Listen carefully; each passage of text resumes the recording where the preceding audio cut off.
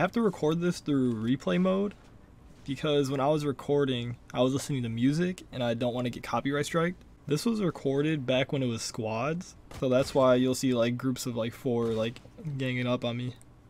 Because I had no internet for three to four days, and now that I finally have it back, I will start to double upload like every now and then. Yeah, this is annoying. I had like three or four people on me right here. Some of them were fighting each other, but I just decided to get out of here after I took another shot, I'm pretty sure. And then Bop. Oh, come on. Bop.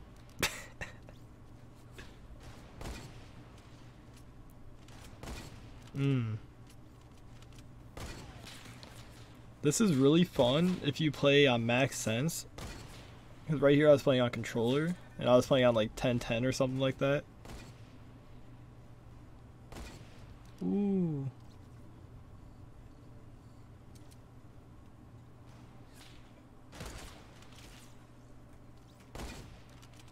I was messing everyone up. Tried the 90 on with low gravity.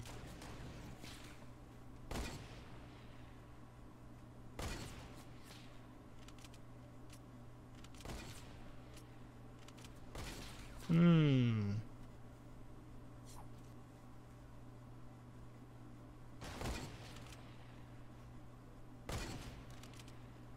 These fights right here are always so awkward. We just get really close to each other with hunting rifles.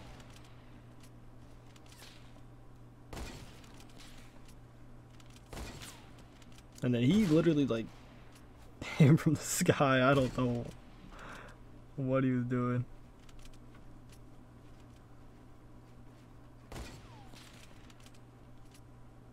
Yeah, build fighting with low gravity is perfect. So I tried to like just jump off and go for the no scope.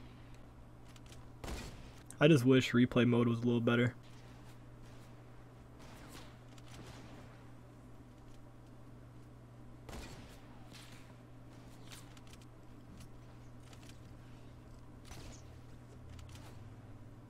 Mm.